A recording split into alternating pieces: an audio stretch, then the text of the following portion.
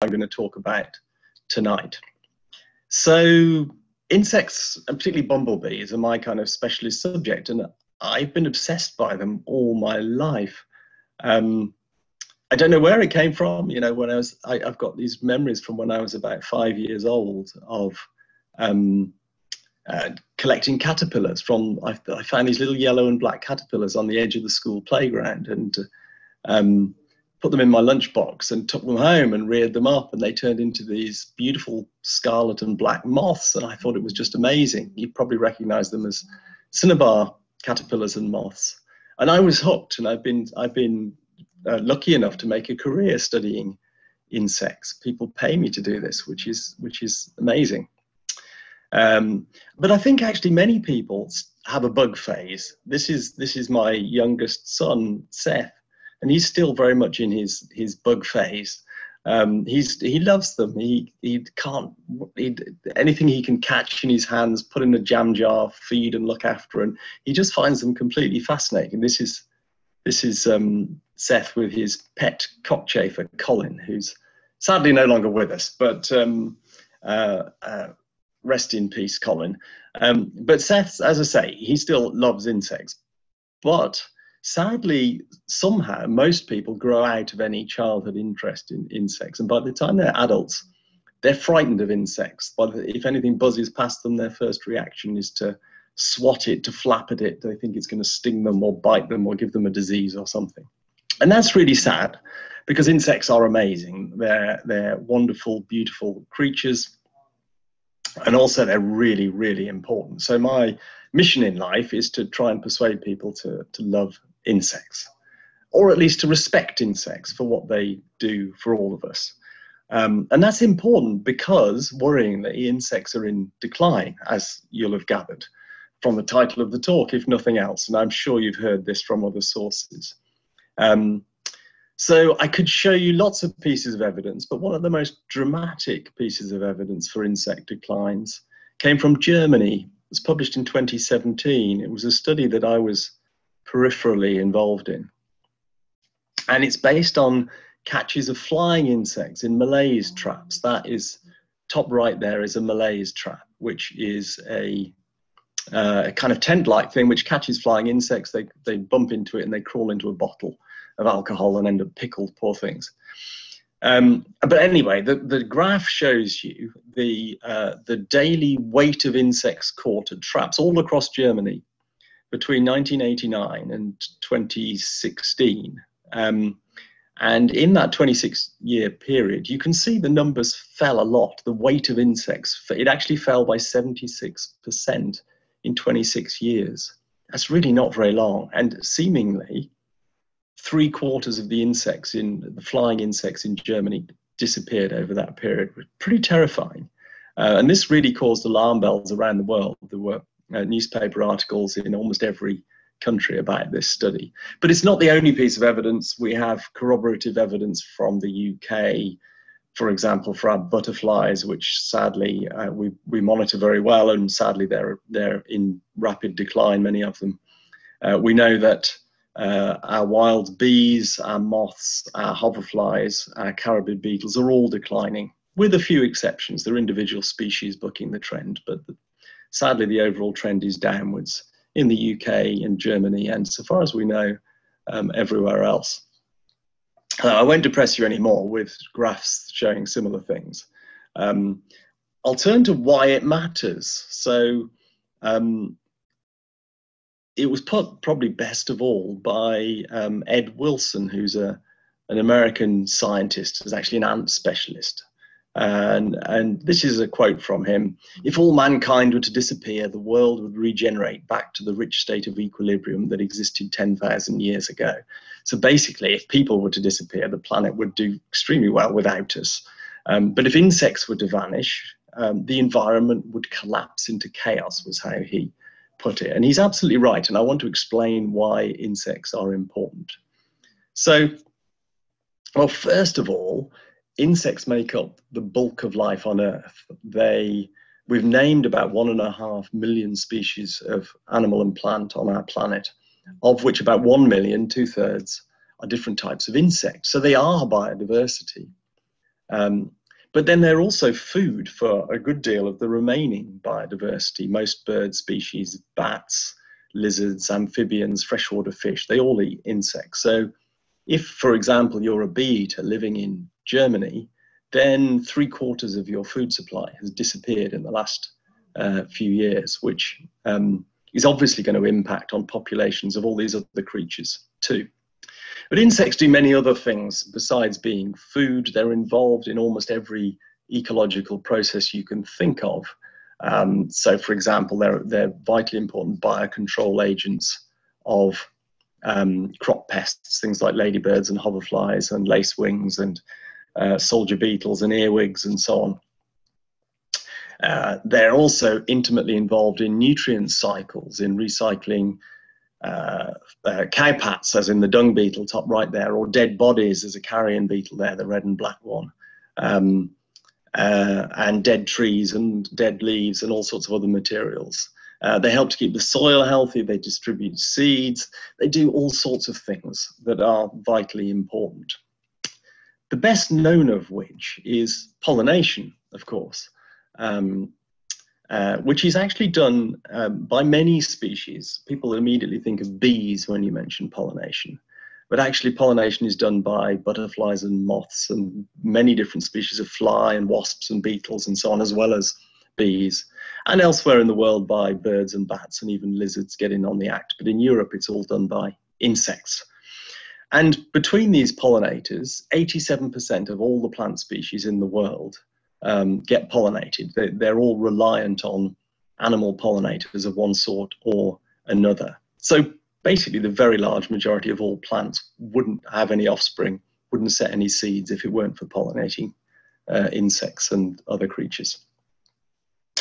From a human perspective, uh, roughly 75% of all the crop species that we, we grow in the world need pollinating by insects. So we've become accustomed to supermarkets full of this amazing array of, fruits and vegetables, often flown in from all over the world and available for 12 months of the year. Um, if we didn't have pollinators, things wouldn't look so rosy.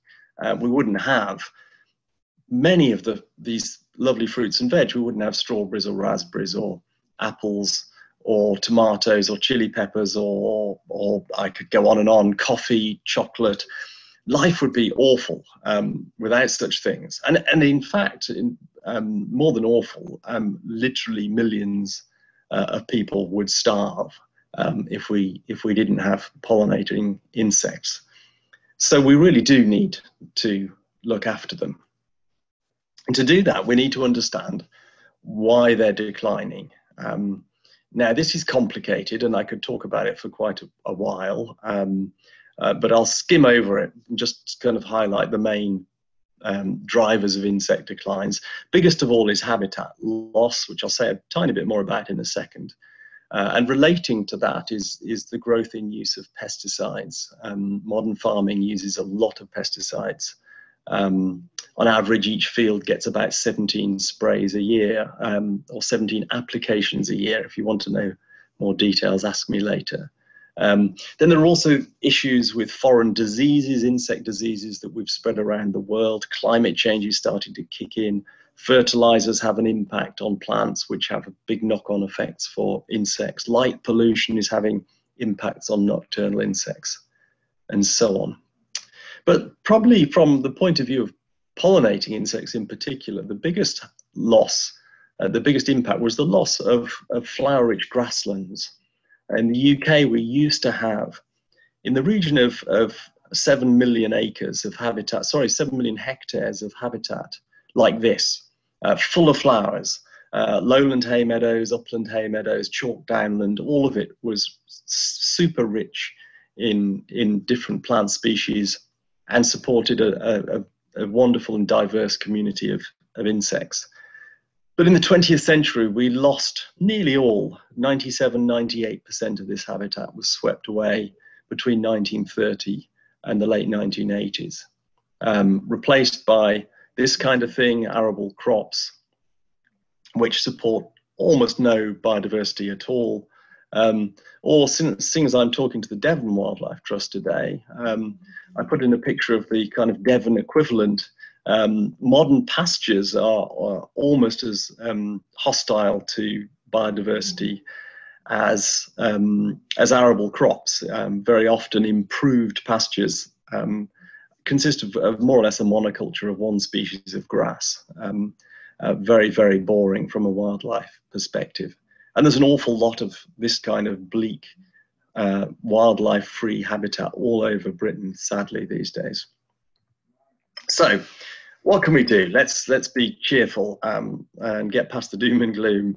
Um, the good news is there's lots that uh, we can all do. So, unlike many of these big environmental issues, you know, climate change, the rainforest being cut down, um, polar bears, ice caps melting, all these things.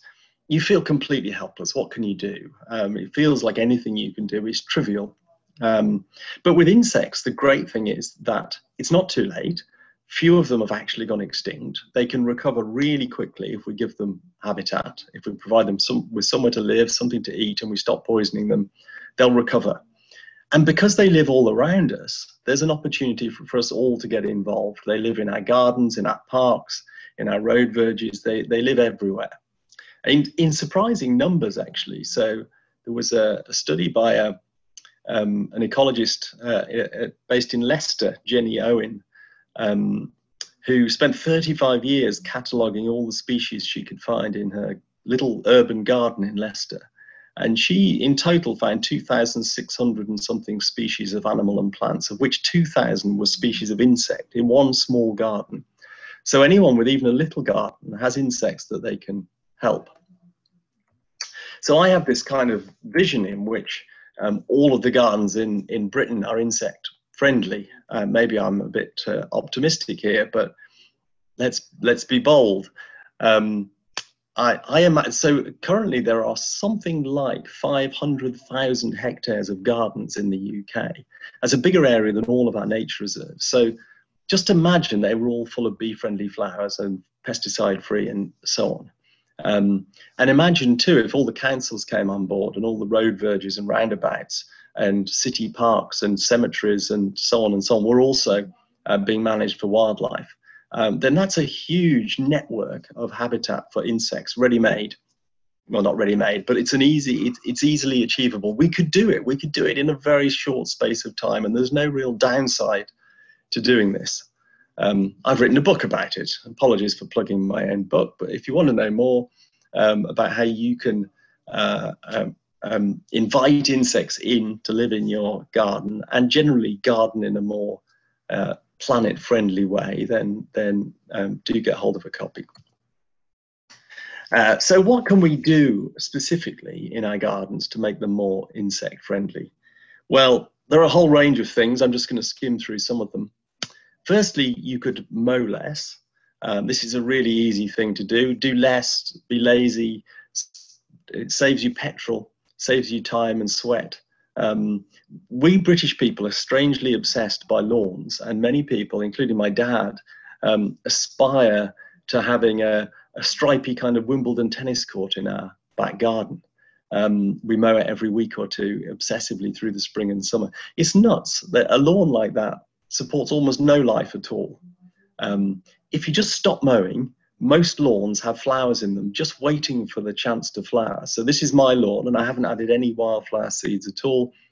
I just reduced the, the I don't mow very often. In fact, I haven't mown this year, uh, that particular lawn. Uh, and you can see it's got red and white clover and buttercups and uh, there's self-heal there and there's speedwell. There's all sorts of lovely flowers in there which attract lots of insects. Um, so if you, can, if you can reduce your mowing and ideally leave some areas of lawn um, unmown all year. Um, just cut them once a year. Have your, you, you've got your own wildlife meadow in your back garden. How cool is that? Similarly, um, we could do a lot with road verges and roundabouts and other urban spaces. So this photo was taken in Stirling in Scotland. And this sea of wildflowers that you can uh, see in front of you is the work of a little local community group that call themselves On the Verge, who spend their weekends planting wildflower seed mixes on any bit of amenity grassland they can get their hands on. Uh, nearly 100 patches like this all over the city of Stirling now, all due to this one little group of people. That's a roundabout, as you can see. Just imagine if every roundabout and every road verge in Britain was planted up with flowers like that. Wouldn't that be cool? Okay, so that's that. That would all help a lot. Uh, what else can we do? I think we can be more tolerant. Uh, is something else we can do less of rather than more of spend less time desperately trying to, to eradicate weeds, things like dandelions and thistles and ragwort. Um, they're all native wildflowers. So if I could give you kind of one gardening tip, you can get rid of all the weeds in your garden, just the click of a finger, by just reimagining them as wildflowers instead, because that's basically what they are. Um, and all of the plants here uh, are really good for wildlife. So we should we should maybe give them a little bit of room if we possibly can. Ragwort, for example, is often demonized for the, the supposed poisoning of thousands of horses. Um, but actually, it's it's a native plant, and if it's growing in a pasture, horses won't eat it. It's only actually dangerous if we're foolish enough to make uh, hay with a large proportion of ragwort in it. Uh, so let's be more tolerant of these plants that support a lot of native wildlife and let's stop doing things like this. It really makes me weep to see this kind of thing. What harm was that little bit of vegetation doing? Was it really necessary to spray it with herbicide? Almost certainly glyphosate, um, which is actually a, a, has been linked to cancers. There's some court battles raging in the United States, but uh, all of them that have taken place so far have found that found against uh, Monsanto, um, the company that make glyphosate.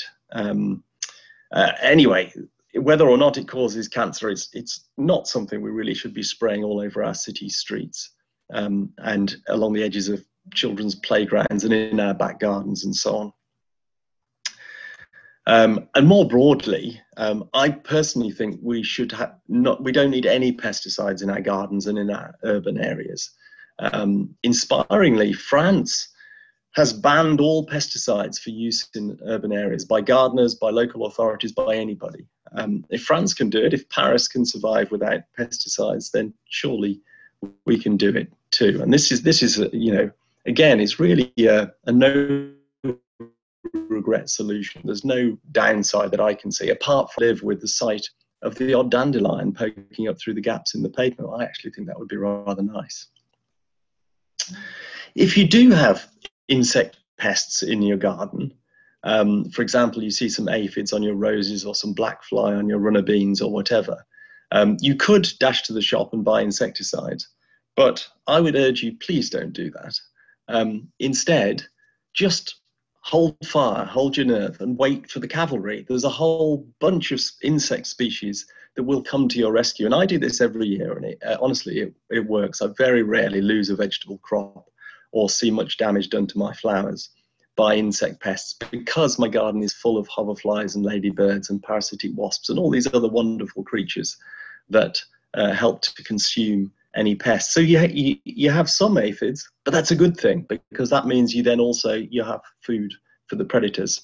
The ecosystem is in balance, if you like. As soon as you spray a pesticide, you kill not just the aphids or whatever pest you're targeting, but all of these creatures as well and you can guarantee the pests will come back faster and harder uh, because they no longer have any natural enemies. Of course, the obvious thing you can do in your garden to make it more wildlife and particularly more insect friendly is plant lots of bee friendly flowers, bee friendly, butterfly friendly, nectar rich, pollen rich flowers. And I could talk for hours about this, but broadly, the idea is to um, you can sum it up as old fashioned cottage garden flowers and herbs tend to be good. If you want more detail, I have made loads of YouTube videos about the best flowers for uh, pollinators at different months of the year. So have a look at those. I'm just going to show you a few pretty pictures now. Um, uh, so this is catmint, an absolutely fabulous plant for bees. I would recommend everybody who's got a garden to have a, at least one catmint. Um, things like borage attracts thousands of bees. Lavender, of course, is a classic. Um, comfrey, beautiful uh, wildflower that attracts lots and lots and lots of bees because it produces tons of, of nectar. in fact, you can you can grow lots of wildflowers in your garden, and the more the better, as far as I'm concerned.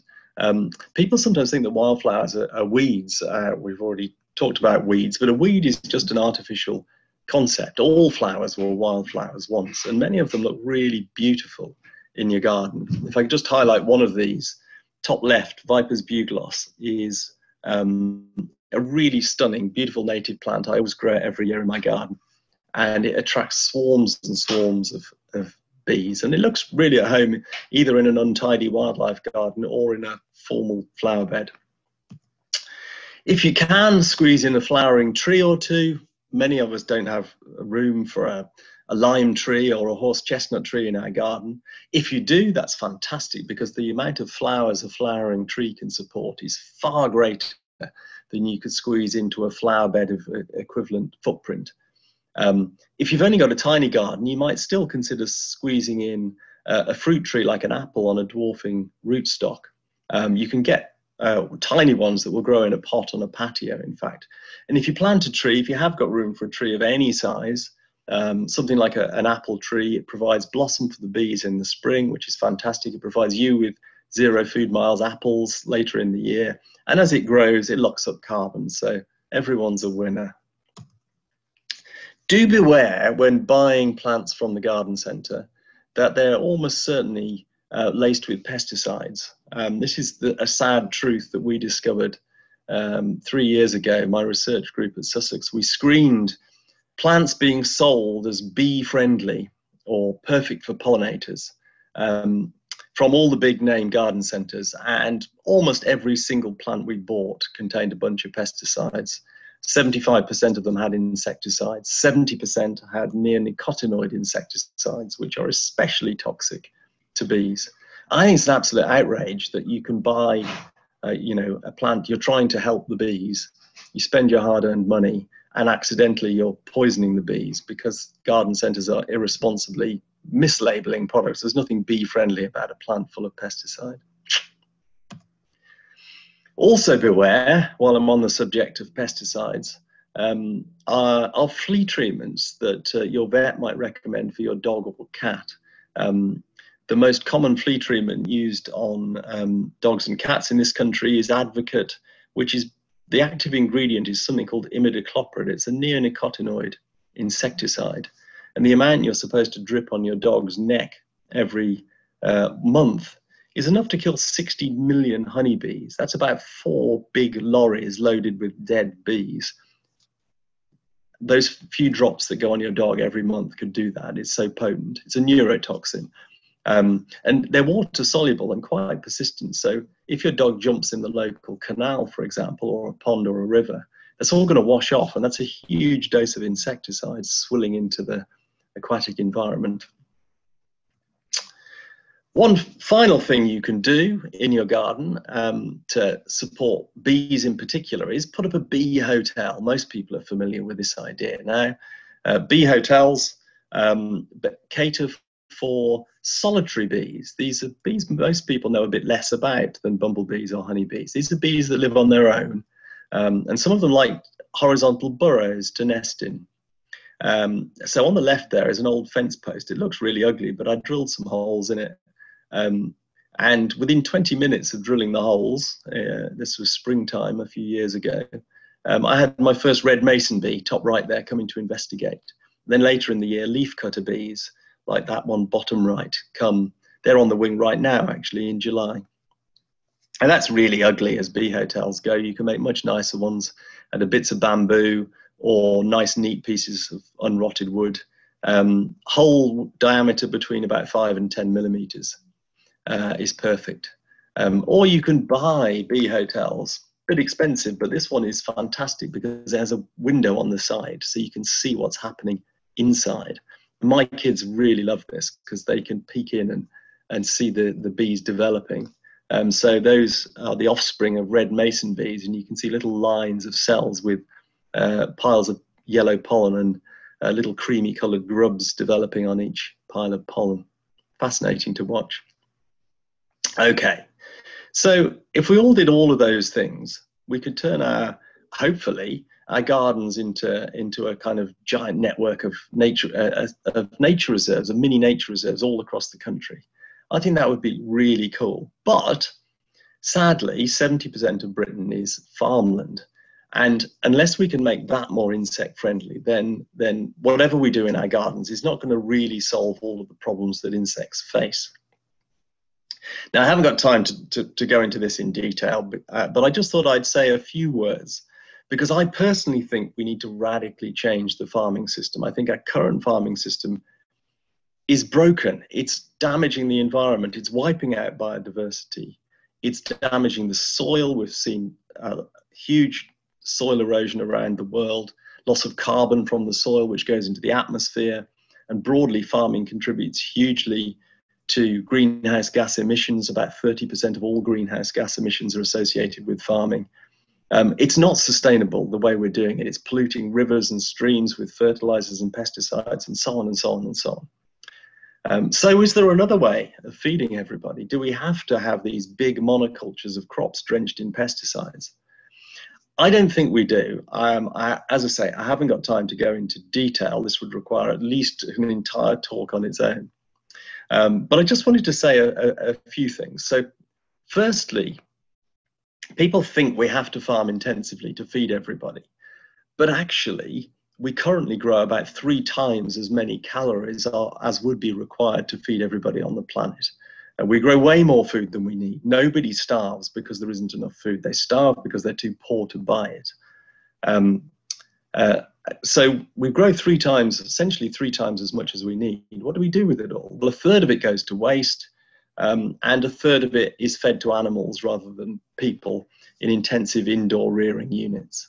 Um, uh, which is a hugely inefficient way of feeding people. I'm not suggesting everyone should go vegan or vegetarian. I'm neither, but I treat meat, I see meat as a treat to be eaten occasionally rather than all the time. And in particular, we should avoid indoor reared, grain fed red meat, beef, and so on, because that's spectacularly inefficient at feeding people. And it's bizarre that roughly three quarters of all the farmland in the world is used to e- either as grazing land or um, to produce crops which are fed to animals. And yet, meat provides us, meat and dairy products provides us with about 8% of our nutrition from 75% of the land. It's, it's a pretty inefficient way of feeding everybody. So we waste loads of food, we eat too much meat, and we also eat too much and we eat the wrong stuff. So sorry about this picture. Um, it's a bit unpleasant to, to look at, but the harsh reality is 27% of the adults in the UK are now obese. And it's hugely expensive disease. Um, uh, it leads to diabetes and many other uh, conditions, heart disease, and so on. Uh, it's costing the economy, by coincidence, 27 billion pounds a year, according to government figures. That's that's essentially directly due to poor diet. Uh, we eat way too many grains and processed foods, pies, pastries, pizza, pasta, cakes, biscuits, and so on, and nowhere near enough fruits and vegetables. We import 70% of our fruits and vegetables in this country, even though we have a country well suited to growing them. So if we wasted less food, ate less meat, and just ate less and more healthily, we could massively reduce the pressure of farming on the land. I think there are some really interesting alternative ways of farming which deserve lots of research and attention. Things like agroforestry uh, which involves having trees mixed up with other crops, um, which helps to hold the soil together and capture carbon and, and so on, and increases biodiversity in the whole system enormously. And also, I personally got a lot of time for things like permaculture and biodynamic farming, both of which essentially are producing food but working with nature at the same time. Um, and and they're examples of, of food product of farms that teem with wildlife while producing food. They do, wildlife and food production need to go hand in hand, not be mutually exclusive as they have become. So broadly, I think we need to do less of that stuff on the left and more of something that looks more like what's on the right there. Okay, so to wrap up, um, this of course is our beautiful planet. It's an amazing thing. Um, it's everything we have. We depend entirely upon it. We are not going to live on Mars anytime soon. Um, and it's, it's astonishing. It's beautiful. It gives us everything we need. Um, and yet we're doing terrible harm to it, and we need to do better. Um, we need to, to, you know, most people would do anything for their children apart from apparently leave them a decent planet to live on. Um, so maybe we can start by looking after the things that live all around us, the, the insects in our gardens. Thank you, everybody, for listening. That is the end.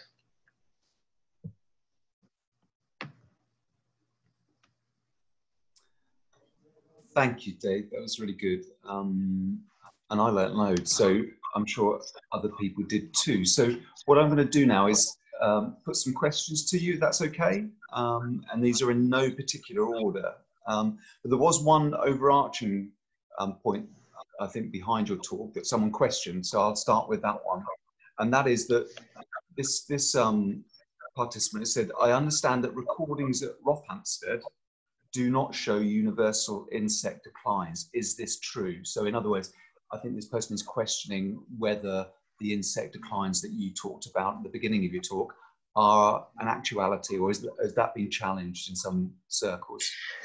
Not by any sane person, I don't think. I mean, I think the evidence is overwhelming. The, the Rothamsted data, they, they have, there are four suction traps, which uh, one of which is based at Rothamsted and it's coordinated from Rothamsted, which they're, um, I, I forget how 20 something meter tall traps that were designed to suck aphids out of the air as an aphid monitoring program. Uh, and the catches in those suction traps um, have not really, well, one of the four suction traps has seen a big decline and three have seen more or less flatline the whole time. But they're 90% of the catch are bibionid flies and nearly all one species of fly. So I don't think that really tells us terribly much about what's going on with the 27,000 species of insect that live in the UK. Um, the, da- the hard data we have for insects, the really detailed data, are for butterflies, which are monitored very closely and which are down. The rare ones 78% since 1976, and the common ones by 46%. Um, and we have really good data for those. Uh, moths we have pretty good data for, and they're down about 35% since 1980, if I remember. Um, bumblebee range, uh, wild bee ranges have contracted by 30%. Those are all, you know, indisputable kind of findings. So um, there seem to be one or two people out there that enjoy trying to kind of be controversial and deny the weight of evidence, but the very large majority of entomologists or scientists uh, accept that this is real. And it's a bit like climate change. You can find one or two people that disagree, but they're very much in a minority these days. Dave, just before we go on, thank you for that. Could you just put your your video on again so that we can see you? Because otherwise, people. Don't yeah, know. sorry, I didn't realize I didn't didn't turn it off, but it's um. There, there we, we, go. there we go. You mentioned climate change there, and we've got another question about that. And someone says very elegantly, "Is this the elephant hawk moth in the room?" I mean, a lot of what you spoke about were individual actions to combat insect decline and, and precipitate their recovery but is any of that worth it when we are now told there's, there's a climate change emergency? It, climate change is going to have huge impacts. There's no doubt at all. And, you know, some of the projections as to which species will be doomed to disappear in the UK um, as a result of climate change are really depressing. You know, many of our common bumblebees are forecast to, to not be here at all um, in, you know, 50 years' time or whatever.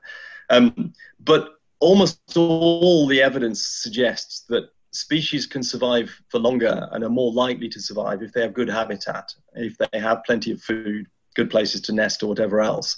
So we can mitigate the impacts of climate change by looking after our insects, by creating habitat for them. We're not going to be, you know, that isn't going to prevent climate change from causing them harm. But if we continue to destroy their habitat and poison them and then inflict climate change on them as well. It will be much worse than if we do what we can um, to help them now. But I, I mean, it, it is, uh, you know, um, an enormous issue. And um, the, I think it's the combination of um, biodiversity loss and climate change together, which is more frightening than either of those issues in isolation. And they're so intertwined that uh, you know you you can't really um, separate them.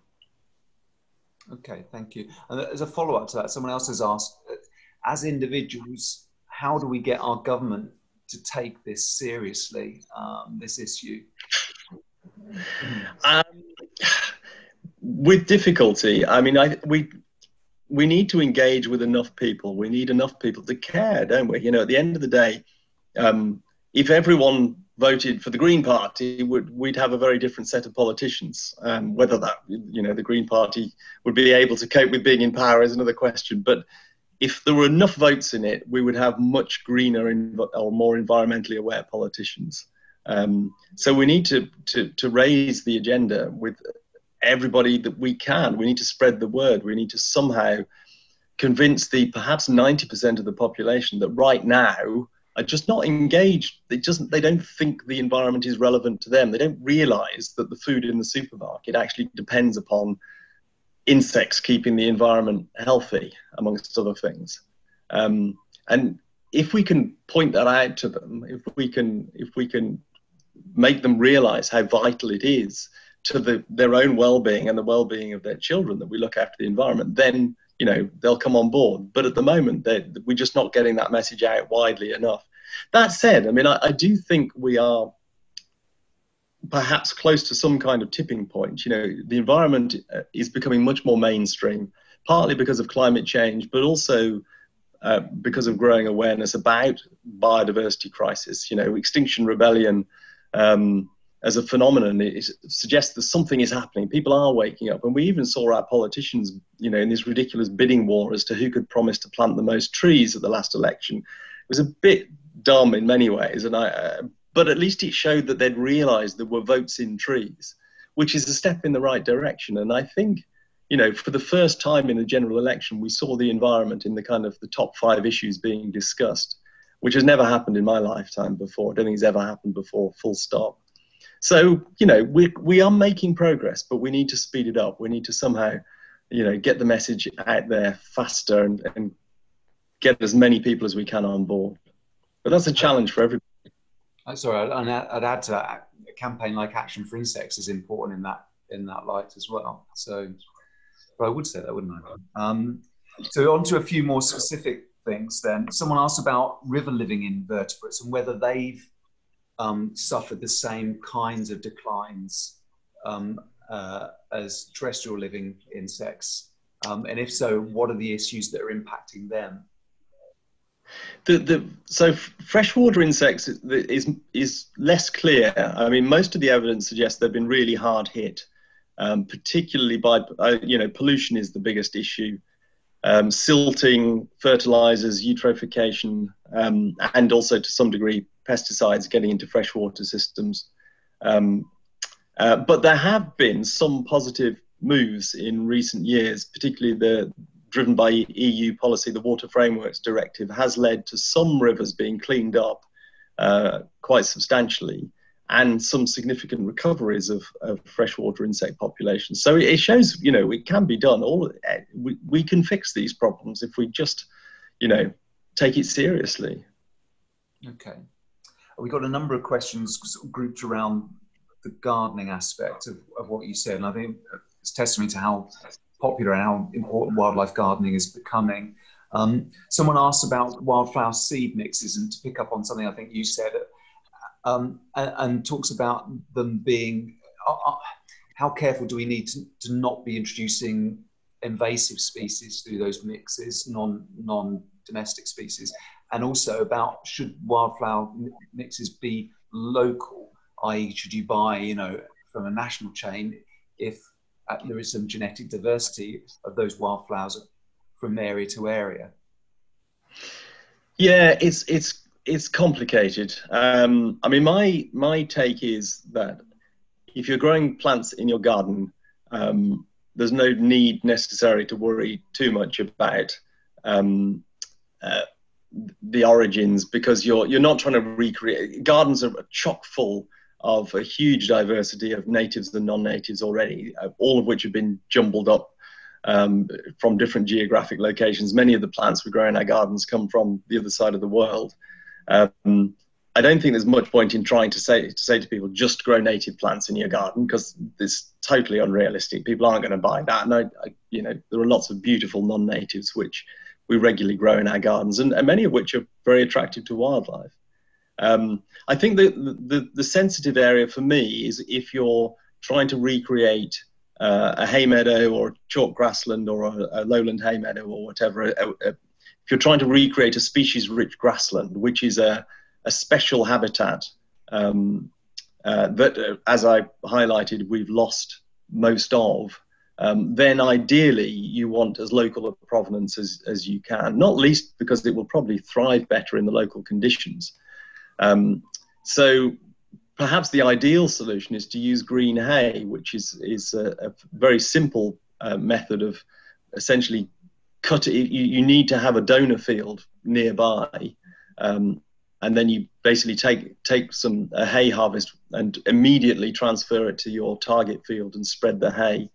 Um, and that can be really effective done well as you'll find advice about how to do it online Failing that, trying to find a local seed company, but there is that that can be tricky because there aren't seed companies everywhere, and there are corners of the country where you just can't get hold of local provenance seed.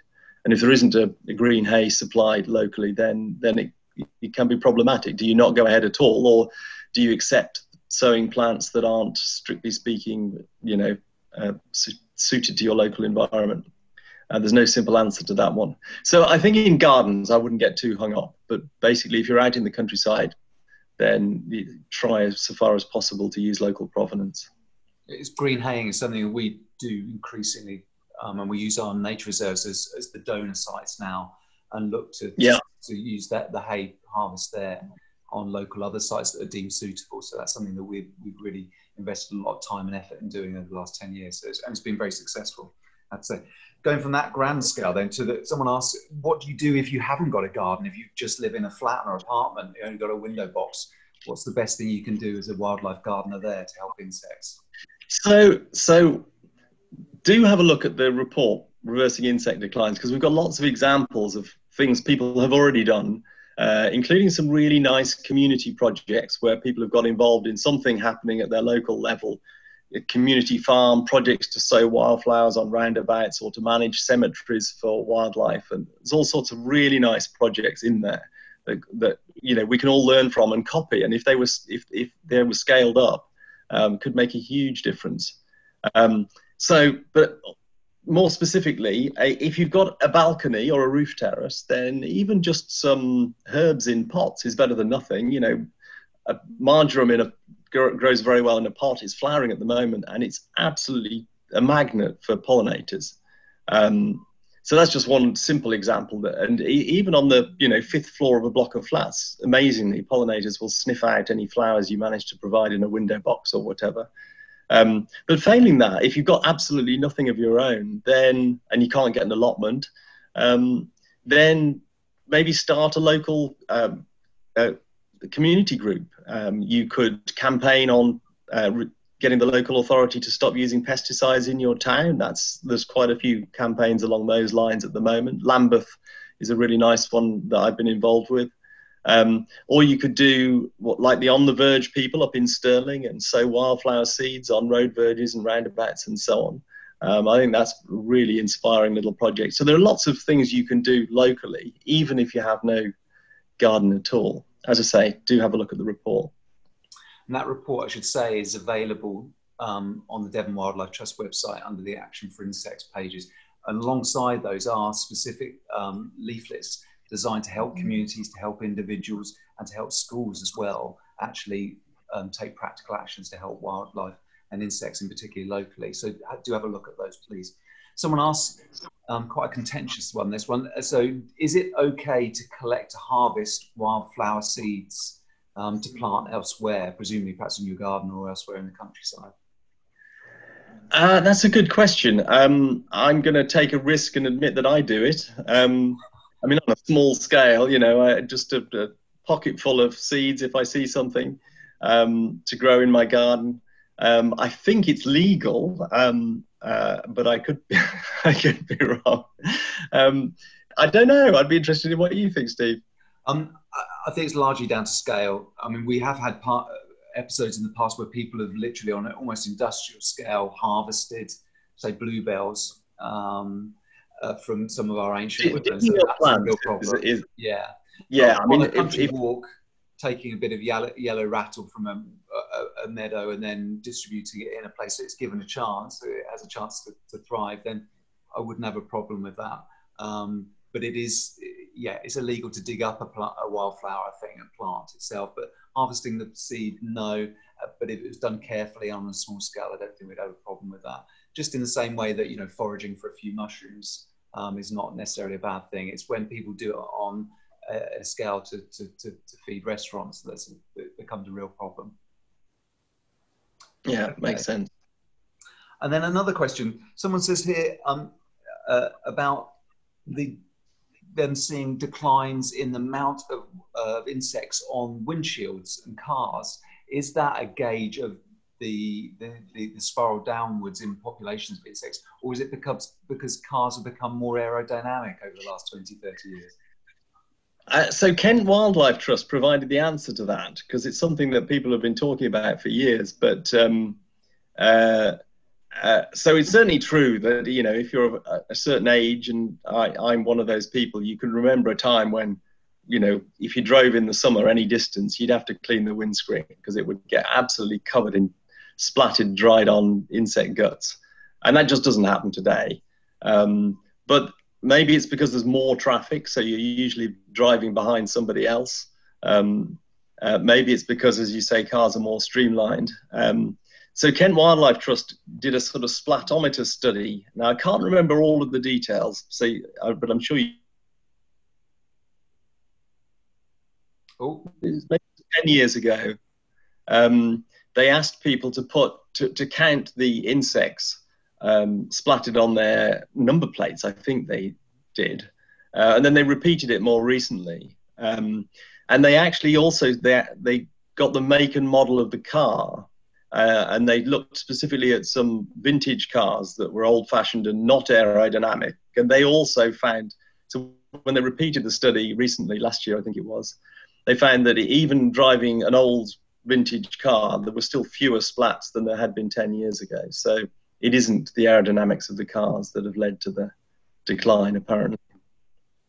Okay, and this, this is a variation on, on what I call the wasp question, which I'm sure you've heard lots of times before. Is it? And this person says, "Is there any reason why I shouldn't spray mosquitoes, or can you give me a reason not to spray mosquitoes?" Well, uh, they're food for lots of other creatures. You know, the swallows and swifts and house martins are all in decline, probably because there isn't enough food for them. Um, bats eat mosquitoes as well, and they're they're in need of help. Um, but also, you'll do collateral damage if you start spraying pesticides around. You won't just kill the things you intend to kill. Um, you know, this is one of the problems. No one's invented an insecticide that just kills mosquitoes or aphids or whatever. They kill all insects. Um, so you'll you'll risk killing the butterflies and the ladybirds and everything else in your garden. Okay, thank you. Um, and then someone asks, is there research or is there evidence showing before and after measurements uh, um, of how successful wildflower planting is in people's gardens and on verges and so on that, that, that shows that insects are actually helped, benefited by that planting? Yeah, so there's I, I actually had a uh, an MSc student called Lorna Blackmore who studied this up in, in Stirling, where in fact some of those plots that I showed were ones that she studied. And so she compared insect abundance in areas that had been sown with wildflower seeds with areas of that hadn't been treated that were still essentially uh, mown grass. And uh, if I can remember the fig- figures correctly, there were roughly 50 times more bees, and I think it was 13 times more hoverflies in the wildflower areas than in the, the non wildflower areas. So, yeah, huge difference. Okay, thank you. And then uh, one final question, then, Dave. Uh, um, this person asks, if you just do one thing then for insects, you know, I mean, we'd hope people would do a multitude of things, but if they were to just start by doing one thing, what would you say um, that, one thing should, should be? I would, I guess I'd start with something really simple, like just plant a, a a marjoram plant, and then when it flowers, sit and look at it and, and marvel at all the happy hoverflies and bumblebees and butterflies that it attracts. And hopefully it'll inspire you to plant another marjoram plant and a catmint and a lavender and some comfrey and stop using pesticides and put up a bee hotel and stop mowing the lawn and all the other things. Because we really need to do everything. You know, uh, one thing is is good, um, but um, if if we're going to turn around these insect declines, and generally look after wildlife more broadly, um, then we all need to do everything we can think of. You know, one step is good, but taking all the steps we can is much better.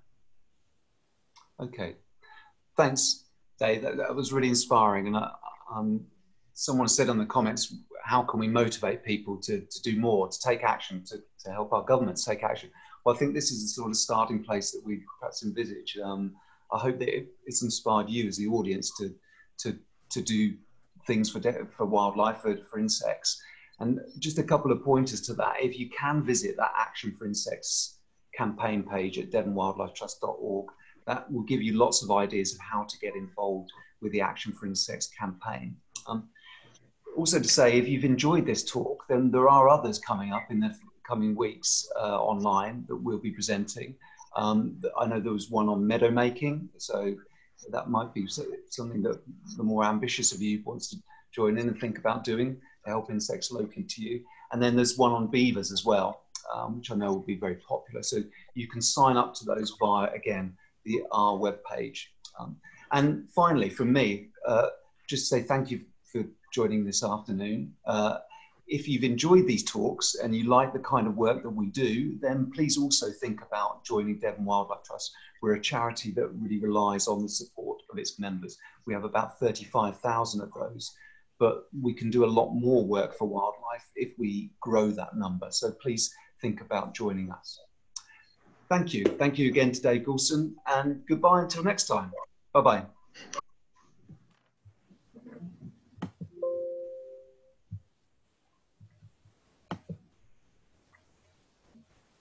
Gosh. I listen to